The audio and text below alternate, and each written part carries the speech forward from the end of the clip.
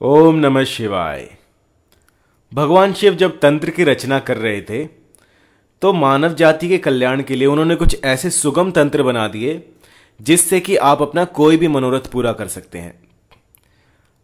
जब बात आती है स्त्री वशीकरण की तो भगवान शिव ने नाना प्रकार के तंत्र, मंत्र और यंत्र मानव जाति को दिए हैं, जिससे कि वो अपनी कोई भी मनोकामना पूरी कर सके।